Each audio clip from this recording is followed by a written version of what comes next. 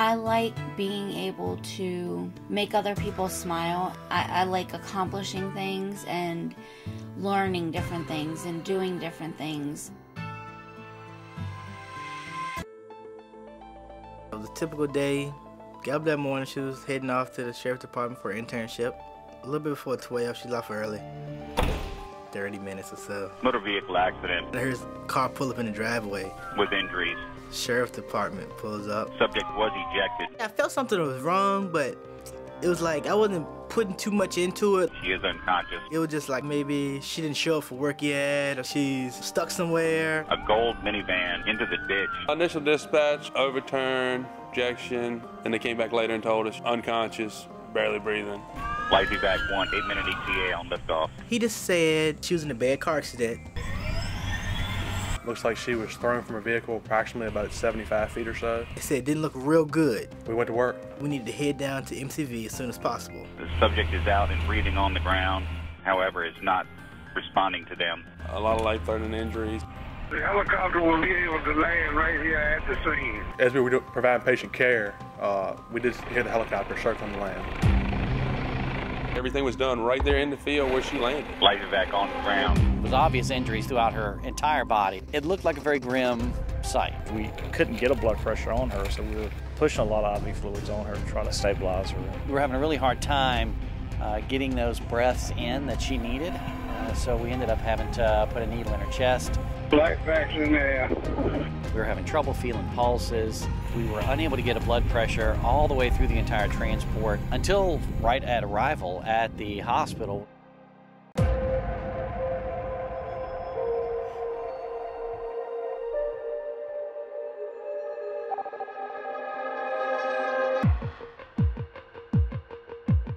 When MedFlight arrived with Candi, we could tell that she was very sick. She had a lot of injuries. She had an obvious pelvic injury and a, a, lower extremity deformity, suggesting that she may have significant internal bleeding and significant intra-abdominal injuries.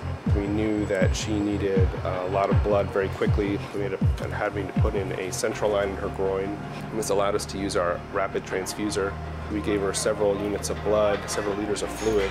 Her blood pressure was continuing to drop despite all of the fluid and blood we gave her we decided we need to go to the operating room emergently.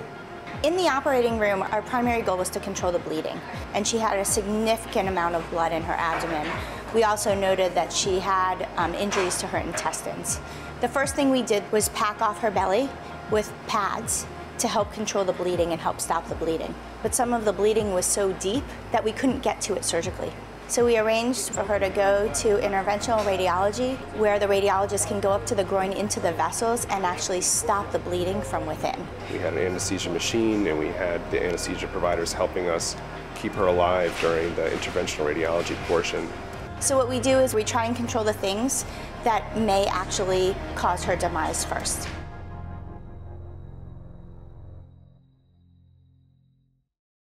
I felt like I needed to be here and I didn't want to give up. We have a real big family of friends, and we had the waiting room full of just our people. The hard part for Candi was only starting when she got out of the operating room because it was at this point that all of her other body systems started to shut down. Her blood wasn't clotting, her kidneys stopped working, and we still had to give her a lot more blood. A little over two times her blood volume was replaced just in the initial seven hours and it continued throughout the night and, and into the next day. She was about as sick as a person could get. She was on uh, full ventilator settings, in fact, very aggressive ventilator settings. Uh, the, she was on uh, pressors to maintain her blood pressure. I signed up to be her primary then. Um, I actually didn't think she was going to make it. her injury to her left hemipelvis and left leg were um, extraordinary. What could be considered a, an internal amputation. Uh, so so severe was the, the trauma to her leg. You almost don't even remember all of the injuries. There were so many because you're just trying to keep her alive. I remember talking to her husband, Reggie, and I remember having to tell him that she may not make it through this and that the next 24 to 48 hours would be very critical. She has a strong will, so when he told me that she wasn't going to that, that it was up to her to pull through it, I said, if anybody could do it, she could. I remember we had took her family back into the waiting room and had the conversation about, you know, you know, we didn't think this was going to be a good outcome. And, you know, we talked about being a DNR and I could tell the family just didn't think that was going to happen. We were kind of expecting uh, the worst and hoping for the best. We would talk about uh, how surprised we were that even in the first couple of days that she made it through the night before. The first like two weeks, it was touch and go.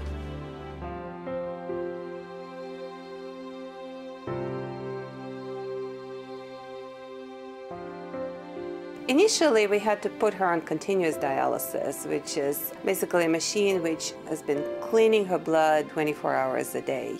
Uh, because she was in shock and she was too unstable to tolerate intermittent dialysis. She returned from one of her mini surgeries and um, she had developed this hematoma that eventually ended up into a massive wound on her leg through her groin area. And she was so sick and at that point we were supporting every system you can think of. She did code a lot and she was brought back uh, sometimes with chest compressions and other times with drugs. Atropine is a medication we use to speed up your heart if it's too slow. So we just planted it around the room and I saw her start to go down and I just gave her the atropine. So I was able to keep that from happening after that.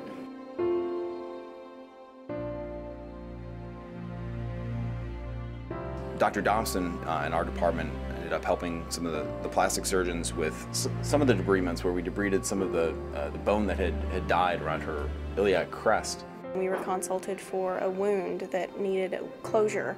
When we walked into the room that day and they pulled the blankets back, we actually saw what was probably the largest hip wound I've ever seen. You could actually see her pelvic bone in the wound. It took out a whole chunk of her side. I mean, just the we didn't think even she was going to be able to keep that leg.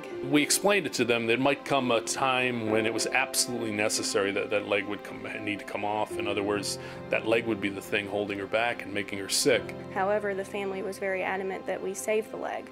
So we had to come up with a different way to reconstruct this wound. Ultimately, we decided that her wounds were of a nature that, that a vac would actually help heal her quicker than any other process. It involved multiple debridements of the wound, a very aggressive wound care and wound vacuum therapy to be able to regranulate tissue so that we could skin graft over that area.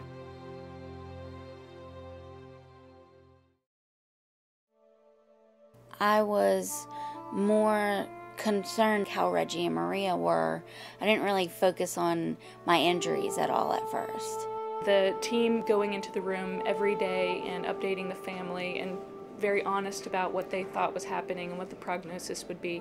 And of course, day to day that changes, and so it's a difficult um, realm to surf through. Everything they was doing, they let me know. They, shoot, they did everything they could for me while I was there. I called them so many times at night, uh, during the day. It was, uh, we kept pretty good contact with them her family was awesome. She had um, a husband and a daughter. The daughter came in a couple of times. Smartest little girl. I mean, she was six years old, but she was really cool about everything that was happening. You know, she'd draw pictures and send them in. They were very hopeful all along that we were going to be able to save the leg, and they kept asking us to be able to do that, and we kept our promise with them, and were able to do that.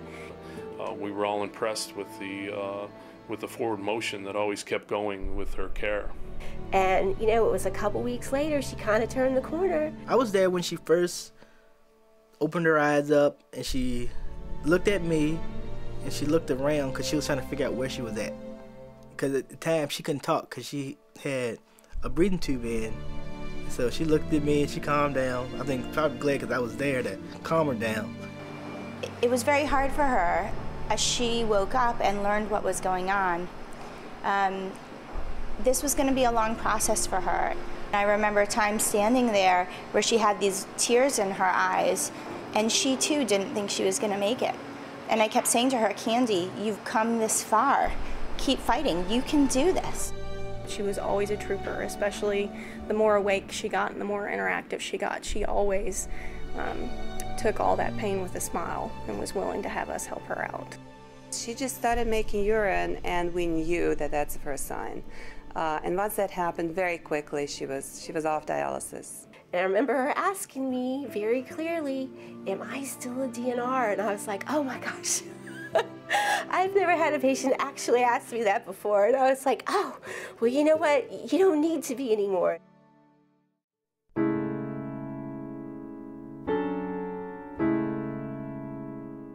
Yep, that was a good day for her. Everybody was real emotional because she was in there for a while.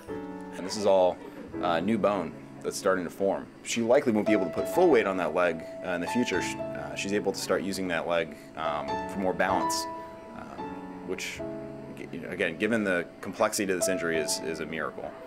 Once Candi was not requiring a lot of medical support and all of her major medical issues had stabilized, and this took about four months, she was able to go to the rehabilitation doctors where she could get the care to start building her strength again, start learning to care for herself again. Definitely, she had a lot of weight bearing precautions and um, just a lot of limitations, and on top of that, a lot of fear of, of moving and pain. It can be a scary thing for a patient, I think, as they start to explore what's safe for them to do for themselves. And I think in order to be able to do that, you need to have a lot of trust in the people that are working with you. She went from a, a place of being unsure to really feeling confident in what she needed and what she wanted. when she when they, she finally came through, she set a goal for herself then. She wanted to be out the hospital before my daughter's birthday.